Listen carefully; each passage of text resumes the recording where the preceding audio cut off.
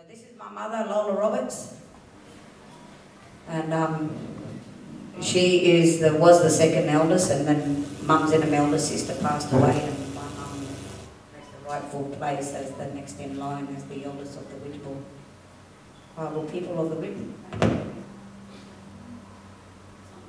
Hello. It's my mum. Hello. Speak again. Hear me? She's a beautiful thing. Thank you. Yeah, I'm Ms. Mum, and I'm Weevil Elder, Lismore, Bundjalung Nation. And um, I just want to say that um, I'm so proud of my daughter uh, in what she achieved and what she's doing, and how she can um, also make a, a headway in life for maybe us, maybe um, the government is doing wrong, and we all know that. And sometimes, at, at times like this, we need a voice, but we Hello, don't David. need the voice Um, I'm in running government. after Jake, the sound Because man. I've got a voice.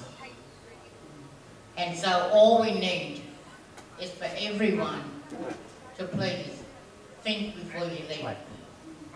Because it's very, very hard for us to fight against the government ourselves. But if we had some input, if we had some uh, followers, we would make a great nation. But if we're gonna keep on listening to the government, lying, cheating, it's all about land, money. And so these things all come into perspective order for the government, not for us. So we need this, a chance for us to make a headway. Now, we've gotta make a change. And if we don't change now, we're gone, we're doomed. You, me, everyone. So we just don't want, we don't want this voice, we don't want a treaty, we don't want the constitution, we just don't want, Is that Cindy? This is what we want. We want a treaty, but not with them. I'm not with them. sorry. Right, what, I wish we had you. Um, I'm look, um, just, um, trying to work out. Does, does anyone know about the, about the voice? You all know what it means and what's, yeah, okay, well, this is, um, something that we don't Yeah, do. Hello. So Because if we Cindy's go not ahead speaking and say, really well. yes, Yeah. I might, um, I might get a microphone just, for you um, and just, um, put the mic. that's to what the they speaker want. Because it's not working yet, so when you, get- when your turn to speak, Okay. I'll okay. do that, that's all right. Uh, look, Yeah, I had to do that at Think another well. venue. Yeah. I love you all, No, I- I and might be God that, bless but you you, don't, that's all good for you. but please, think before you leave, Okay. because if the government has been lying Is all your the grandmother time, Malawi? so we're just sick of it. Yes. Enough is Grandma. enough. Great, thank you. You know, how many prime ministers that, that we went You through can hear the speaking? to get it right? I can, Right. yeah. And if we don't get it right, what have we got? Hmm. We've got it wrong. Oh, So, sorry. just put, keep in mind that, you know, we are the First Nation people and we've been out there since day one struggling. And so was our, our mothers, our forefathers, our foremothers. They've been struggling all these years and uh, to fight the government. And we can't do it alone. But we need our Australian people behind us. Thank you, say. Thank you very much. So what I'm here, um, what I'm going to do at first is that I need to show you something. So as you know, you've got a treaty and you've got a voice. There's two different things here that we're dealing with. So one, a treaty can only be done between sovereign to sovereign. A treaty cannot be done with a corporation or anything non-living. A corporation is a dead corpse, it's a corporation. So you cannot, as a sovereign, treaty with a corporation. Doesn't make sense. In 1973, the Australian well, as you know, through the EU 71, there was the EU, the UN, and everything they come into. It's so, it, it, it's so complex. But they done a deal, and Australia became a part of it when under the Gough Whitlam in 1973 with the EU, UN, and then they established their um, Australian Corporation. But through that process, they committed treason because they didn't hold a referendum in 73. So everything they've done from 73 up until to 2023 is unlawful, illegal in this country. And Australians need to know the truth of what's actually going on here. We could actually lodge a, a class action against them because they owe the Australian people so much money that it would send them bust and packing their bags and out of this country. Is that what we want? Yes, we do. But there needs to be accountability in this country because what we're looking at right now is that they're asking for a voice because they can't treaty because they're a corporation and we're sovereign. They're asking the Australian people through this voice, using our people as the guinea pigs here, as the puppets, making you feel sorry for them, making you feel emotionally blackmailing you, saying if you do not say yes, then you're a racist. Well, I'm telling you, you need to make up your own mind and need to know the truth about what you're saying yes to. You have to make your own decision about, you know, this voice, you need to get the information, first-hand information, you need to be questioning. So why are they asking Australians to say yes to something that's about us as First Nations people? That's the first thing you need to be questioning. Why are they asking you? Why can't we make our own decisions? Why can't they come with, to us and consult with us and ask us, okay, you mob, what do you want?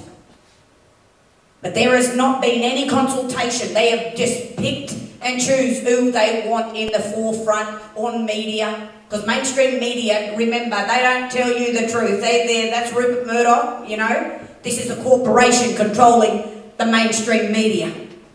Anything corporate with government, everything like that cannot be trusted, even mainstream media. So get off the TVs because they're lying to you. That's a start. They don't want you to know the truth. They don't want you to know that we have not been consulted. You ask anybody in the Bundjalung Nation, have we been consulted as a people? And never guess what they'll tell you. Do you think we've been consulted? No, we haven't. So how is it like a native title? So they go out and they put native title over your country, right? So native title is just trickery. The voice is the same way. It's like, you know, it's just a title, but there's trickery involved in it. See, native title don't give you back. They, they make my people believe that they get their land back. You've got to get back their land, but this one here's a land grab of everything. This is central banking, digital currency coming into existence. This is one world order. This is new world order. If the Australian people are to say yes to something like this and not knowing the outcome, the, the, the consequences of what's going on here, see, they're, they're using my people, they're using the voice. They're making you feel sorry, boo-hoo on TV, crying. These people that are sitting there, these corporate blacks are getting paid millions in their pocket. They don't care about us. So let's just get that out on the table. These people are being paid mm, a lot of money to push this agenda, this new world agenda for corporates. They want you to feel sorry for us. Don't feel sorry for us because we're sick of the end outs. We're sick of the briberies. We're sick of the pity. Don't feel sorry for us. We don't want your pity. We need truth and justice in this country for all humanity. The only way we can make a difference in, in regards to this is we need to educate. We need to explain to them the difference between a treaty is sovereign to sovereign. The voice, that's what they named it because they can't treaty because they're a corporation. This government doesn't want to be held accountable from 73. I don't know if you know, but there's, a, there's an international court case going in, on and Australia's in trouble. They need your help, Australia. They need to make up for what they've done in 73, committing treason against the Crown, and they need to clean up their act, and they're coming to you. So they're coming to you to commit genocide against First Nations people for the biggest corporate land grab you could possibly imagine in this country. We will lose our rights. We can no longer protect you as First Nations people. This is what's coming. They will then seize your private lands, your assets, your bank accounts. That's what's coming. All they need from the Australian people is a yes, and this is what they don't want to tell you. Now, I'm on a mission to tell the people the truth about what this referendum is about. If you go through your constitution, you'll have a look. You get their new little pocket edition. I, I, uh, I rang up Kevin Hogan's office and I was like, "Can I get a box of um, um, your box of pocket edition constitution, please, for the people?" Because the last rally we had, I asked all the people, "Has anybody read their constitution?" I said, "Anybody who read your constitution, put your hand up." No one put their hand up. No one's read their own constitution. If you was to get that constitution and you was to put it to the original founding constitution under the monarch, you will see the difference from a corporation from the monarch, from the Commonwealth. They have halted, they have, they have watered it down, they have done a lot of damage. It's not the same of the founding. Like, like Uncle Dudley was saying, what they've done is they pushed the original founding constitution of this country under monarch, which I don't, I don't, I don't, I want the whole thing abolished. To tell you the truth, that's how I feel because these constitutions committed genocide in this country against my people. There is nothing good in these constitutions. So in 73, 1967, when they held the referendum, you think that was a good thing? That was a census, right? That was going to give our people the rights to what? Vote and become citizens, what? In our own country. We became citizens. Uh, we already came from here. But yet they had a referendum. See, that, that's, wasn't, that's what it wasn't about. Through that, consti- through that referendum, what they did, they amended the Constitution and they struck out clauses. They struck out tribal rights. They truck, struck out, we became a race. That's when it began, you know. Not just from colonial settlement, but they started striking, striking out who we were as a people. That's when the Australian Corporation came into existence, eventually. See, everything, and that was all Labor. Labor from 67, Labor when it's 71, with the EU, UN, coming up. And you know what? Who was determining and making decisions when Uncle Neville Bonner and he came into power and, and became a senator? The first Aboriginal senator in this country was 1971, Uncle Neville Bonner. You know that? You familiar with that? He was making, eh, before then, who was making the decisions? I can say, but I'm not here to, to cause, you know, division like the government's good at, divide and conquer. You know, race, colour, religion, gender, whatever, you name it, mask, unmask, vax, unvaxxed. See, they're good at this. They've been planning and doing this for a very long time, and it's time for Australians to wake up to their regime controlling. We don't want to be a communist society, but that's where it's heading. We're going to be end up in, in, in, in, in, in, in these communist camps, you know, because we, if you rebel against them, this is what's coming, Australia. Peoples. Bari in language, you say Bari. Can you say Bari? Baris? Bari mean people. But this is what's coming, and this is why I'm out and about and on a mission to stop a referendum. Because the people are not telling. You ask any of them mob that are campaigning the yes mob and tell, have a look what they'll say. They don't know. They're just being paid money, you mob. They don't even know what, what they're saying yes to because they're being paid to tell you, to, to lie to you, to say yes. So in the meantime, we have a plan. Because the only way we can move forward in this country is treaty, treaty. But the only thing about a treaty, only thing, I don't even think I need a mic. The only thing about a treaty is that that's sovereign to sovereign. It's the most powerfulest thing that we could possibly have in this country. So, to say all humbug and everything, just remember, this is sovereign, sovereign to sovereign, and this is what we want. But see, we can't have this in this country under a corporation, under Australian corporation, is because why? What are they? A corporation, right? So they're a dead corpse, they're a corporation. A sovereign cannot treat treaty with a corporation. So they cannot tre- treaty. For us to be in the constitution, they cannot treaty. So they need another weapon, they need another tool, so what do they call it? Because they can't treaty. This is the truth. So we've come up with something that might touch your mob hearts. So if I, anyone a good reader? So we're starting, this is the Widjabul Treaty. And um, Naomi, may I have a volunteer, please?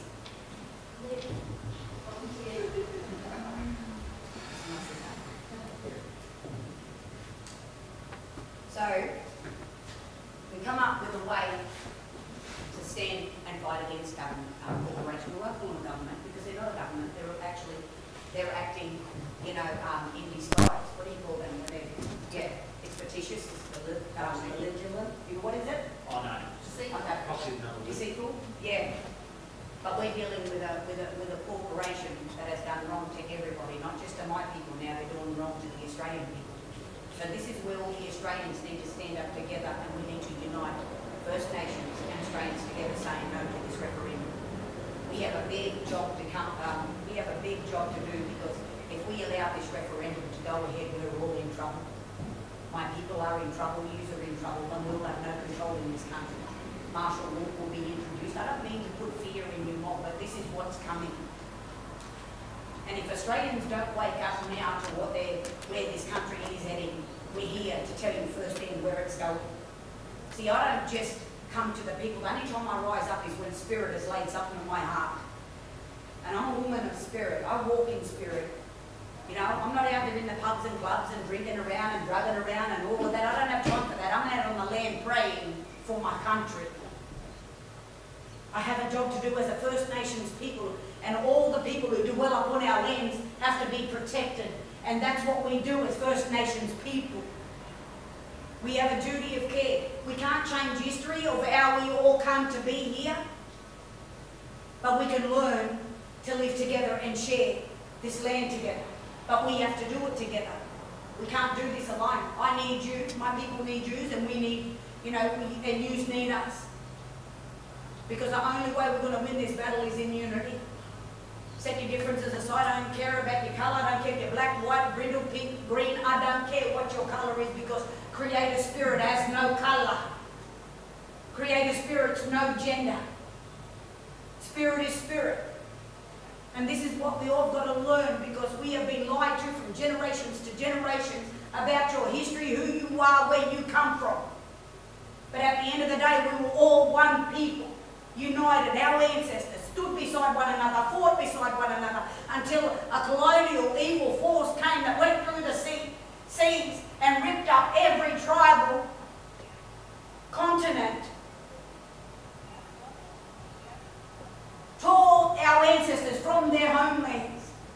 No one asked for you, your ancestors, to be put on ships, taken away to foreign countries, learning how to live again to become slaves, convicts, whatever you want. Nobody asked for any of this. So it's time for the Australian people to unite.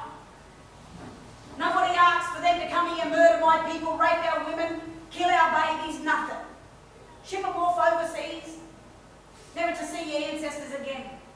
Nobody asks for any of this, but we can only change this together to stop this referendum for what's coming. These are darker days, my friends. This is what's at our doorstep.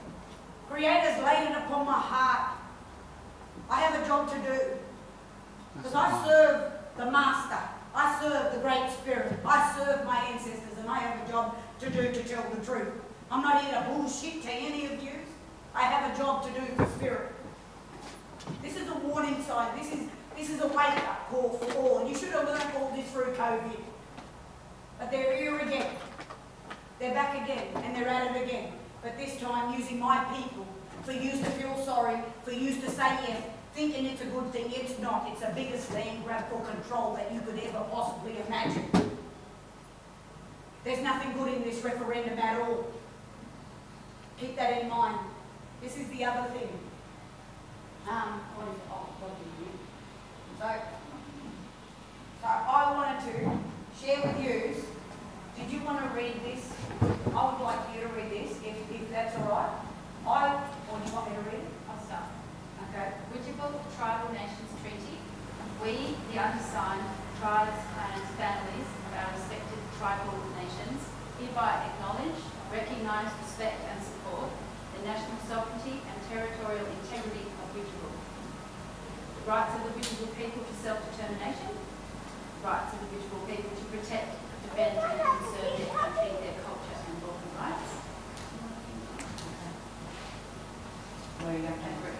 agreed to uphold our diplomatic relations with Widjabul with respect and peace.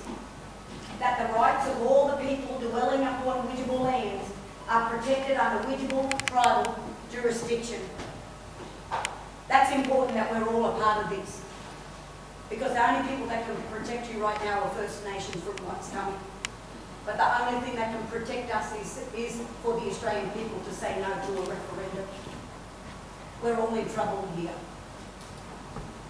So we need to unite, we need to educate, we need to get the message out there what this, so I'll explain to you what this is about. Widjabul, is started the first treaty amongst all the tribes of the Bundjalung Nation. So we'll be out and about getting all the other Bundjalung tribes, all the, all the nations to sign this treaty in support. And then when the other tribes, Lewis Walker is starting his treaty, so we as Widjabul people will sign their treaty. So we're building up a fort, uh, a fortress that we can keep a corporation out. If we can't stop them, they're going to rig it. They own the whole system. So if they want this referendum, they're going to rig it anyway, with or without us. Because we're up against the evil force that wants one thing, the resources. We're all in their way. First Nations are in their way. They want to dig up this country and they want to turn it into a quarry.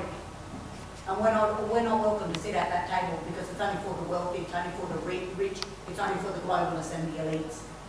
We're not a part of it. We're slaves. Whether you like it or not, you're a slave. This is modern day slavery. And they need to be, we need to be start educating our children about the truth. We need to pull them out of their system because they're not teaching your children in the, even in the curricular system, right, to survive and how to live. They're teaching your kids to be consumed. They're teaching them everything about what they need to do to be rich and what they need in their life and buy and all this stuff, to consume stuff. They're not teaching your kids how to live on the land, how to survive, how to hunt, how to fish. They're not teaching your kids any of the, the basic things that they need to learn in their life. The most important thing that a child should be learning is survival. How to hunt, how to light a fire, how to fish, how to gather. But they're not teaching any of our kids. You see, put your kid in the bush and see if your kid can survive that in the bush. They wouldn't be able to. Because they're being taught to be distracted. Their minds are distracted by all these other things that they have created for our children. All the technology, that is a distraction because they don't want your kids educated. Uh, they don't want your kids, is that right? Educated in the wrong way. Sorry, did I get that right? Wait there. They don't want your kids to know the truth. They don't want them to learn their ways, nor that they, that they can continue to, to control them as slaves. Your children will be a generation that's a slavery system, just, and it's been slavery since day one, since the colonial settlement. Everyone's been slaves and they haven't even realised and woken up, recognised that We are actually slaves, my people, my friends. So what we need to do is to empower this treaty, because this is what we need to be doing to protect this country. So what Anangu, when they came and signed their treaty for their country, as you know, they're fighting in, in central Queensland against the Adani. If you haven't been there, this is what we need to be, you know, they're, they're struggling against a, a, big mining company on their country. They're protecting it, and they're, they're, they're, but if, if something like a referendum comes through, then their fight will be in vain because all Australians said yes to something that we didn't want in this country. We are the three percent, look, they're asking you, the majority, something that we don't want in this country. We want a treaty, they can't give it to us. The Crown has been dismissed. They committed treason in seventy-three, so we can't treaty. We haven't got no monarch, we can't treaty. You can only treaty sovereign to sovereign. And we can't treaty with the corporation, so treaty is out of it. The only way we can, we can win this fight is that, this battle, is that the tribes need to treaty with one another throughout the country. So if we were to, if, if we were to get all the Bundjalung Nation and all the Bundjalung tribes to treaty with each other, then we are a force to be reckoned with to keep a corporate government out of our country. And this is what I'm working on right now. Laws and I've got wind of it, I brought, I brought, I brought it to I've spoken to my other uncles, I've, spoken to Megan Bull, I've spoken to Benjamin, they're all willing to do up their treaties so we can protect the people that dwell upon our lands. We have responsibility as First Nations people to look after all the people that dwell upon our lands. This is my fight right now, this is my responsibility to make sure we get the word and the message out there. I'll fight for you, Mob, but you need to fight for us too. And this is where we're at.